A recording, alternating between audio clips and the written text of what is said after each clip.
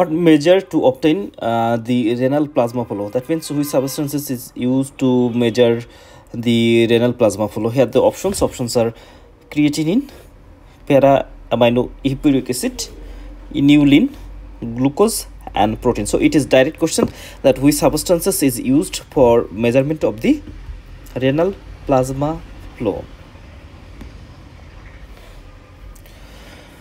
first of all renal plasma flow what is the renal plasma flow renal plasma flow it is the measured by para aminohippuric acid and it is measured by the amount of para aminohippuric acid uh, uh, per unit time and divided by difference in para amino hippuric hippuric acid concentration in renal arteries and veins.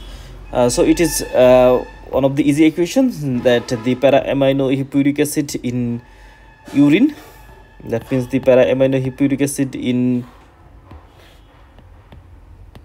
urine divided by the difference of para amino hippuric acid and uh, vein and artery or artery or vein. Any uh, this is the normal equation to measurement of the renal plasma flow. And normal value of the renal plasma flow it is 660 ml per minute. But there is another topics which is the uh, how to measure GFR so this two point is uh, different. One is the renal plasma flow another one is the GFR GFR is the glomerular filtration rate. That means the amount of blood which is filtered in the renal, renal tubule. And uh, previously the renal plasma flow that means the amount of blood it enters into the kidney. Uh, so first of all uh, the mm, GFR measurement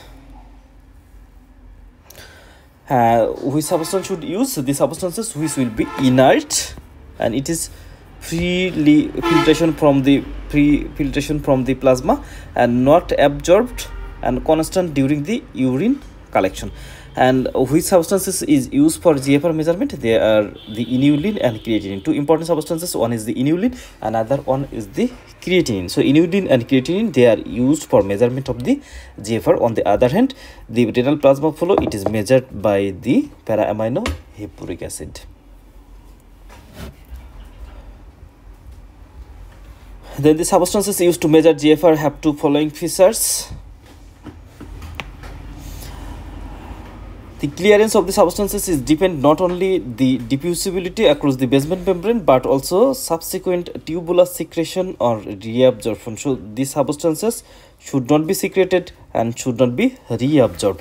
In case of glucose, what happens? Glucose is freely filtered. It is true, but it reabsorbed from the kidney tubule almost all of it.